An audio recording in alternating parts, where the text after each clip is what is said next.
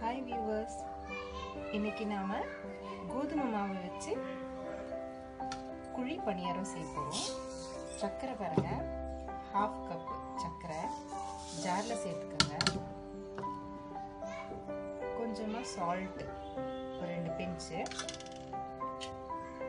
Back soda மாவு ஒரு ஆறு பிஞ்சு இல்லை மூணு பிஞ்சு போட்டுக்கோங்க. உங்கள் மாவுக்கு ஏற்ற மாதிரி ஒரு கப்பு மாவுக்கு அரை கப் சர்க்கரை பால் கரைக்க எண்ணெய் ஒரு மூணு டேபிள் ஸ்பூன் ஊற்றி ஊற்றிக்கோங்க எக்கு பீட் பண்ணி சேர்த்துக்கோங்க ஒன்று சோம்பு ஒரு ஹாஃப் ஸ்பூன் சேர்த்துக்கோங்க. ஏலக்காய் ஒரு மூணு ஏலக்காய் சேர்த்துக்கோங்க. சோம்பு எவ்வளோ போடுறீங்களோ அவ்வளோவா வாசம் நல்லா இருக்கும் இருக்கும். எல்லாம் மிக்சியில் ஒரு சுற்றி போட்டுக்கோங்க. சர்க்கரை ஏன்னா கரையாது சர்க்கரை. ஓகே இது மிக்சியில் போட்டுக்கலாம். சர்க்கரை சோம்பு உப்பு சோடா மாவெல்லாம் சேர்த்து ஏலக்காய் சேர்த்து தூள் பண்ணியாச்சு.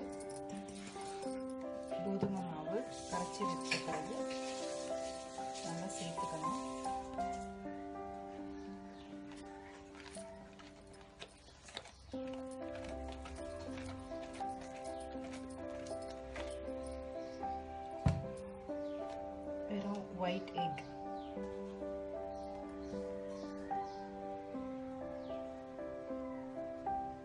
ஒரு எக்கில் வெறும் ஒயிட் எக் மட்டும் சேர்த்துட்டு நல்லா கலரி விட்டுடுங்க. பசங்களுக்கு இது குழி பணியாரமாக செய்தால் ரொம்ப டேஸ்டியாக இருக்கும். நல்லா சாப்பிடுவாங்க.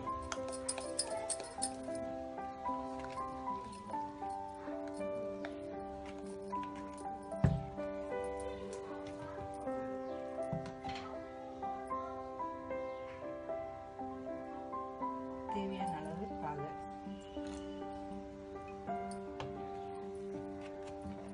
தோசை பதத்துக்கு இருக்கணும். பாருங்க. இந்த மாதிரி போரிங் கன்சிஸ்டன்சி சொல்லுவோம் இல்லை? இந்த மாதிரி இருக்கணும். இப்போ நீங்கள் குழிப்பணியார கல் சூடு பண்ணிக்கலாம். குழி கல் சூடாயாச்சு. எண்ணெய் தேவையான அளவுக்கு நீங்கள் விட்டு சுற்றி தேய்ச்சி விடணும்.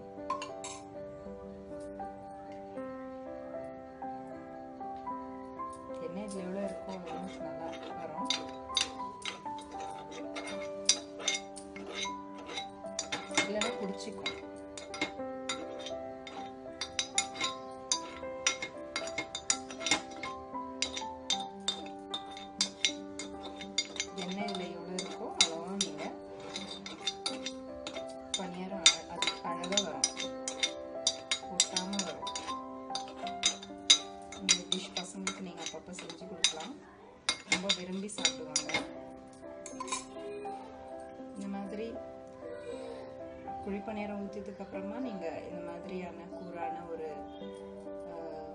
கம்பி இருக்கு இல்லைங்களா? அதில் நீங்கள் எடுக்கலாம். இல்லை அந்த கத்தி ஷார்ப்பாக இருக்கிறதுல எடுக்கலாம். இல்லை இந்த மாதிரி டூத் பேக் லாங்காக இருந்தது அதில் எடுக்கலாம். நல்லா கரைச்சி வச்ச மாவு இப்போ நல்ல கன்சிஸ்டன்சி வந்தாச்சு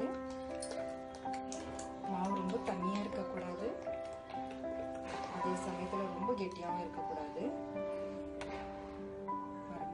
ஆஃப் ஆஃப் தான் விடணும் விட்டால் போதும் அரை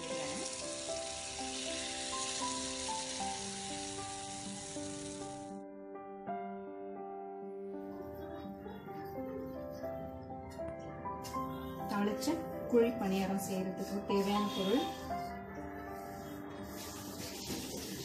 பெப்பர் பவுடர் தனியாத்தூள் கொஞ்சம் உப்பு கொஞ்சம் காஞ்சி மிளகாய் கருவேப்பிலை கொத்தமல்லி புதினா நறுக்கியது. பச்சை மிளகாய் ரெண்டு நறுக்கியது. சீரகம் ஒரு ஸ்பூன் கடலைப்பருப்பு உளுத்த பருப்பு இஞ்சி தட்டி வச்சுக்கோங்க. வெங்காயம் ஒன்று நறுக்கி வச்சுக்கோங்க. பொடிசா நடு நறுக்கி வைக்கணும். கோதுமை மாவு ஒரு கப்பு பால் விட்டு கரைச்சி வச்சுக்கோங்க. சால்ட்டு ஒரு ஸ்பூனு இல்லை அரை ஸ்பூன் உங்களுக்கு தேவையானது சேர்த்து கரைச்சி வச்சுக்கோங்க. எண்ணெய் இப்போ உங்களுக்கு தேவையான அளவு.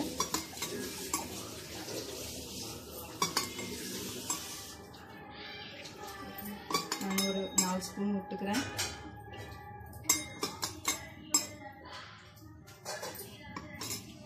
எண்ணெய் நல்லா சூடாகிட்டு இருக்குது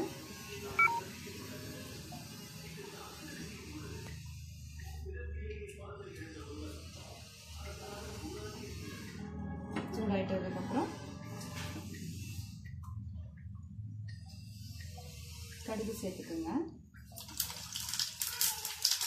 கடுகு சேர்த்ததுக்கப்புறம்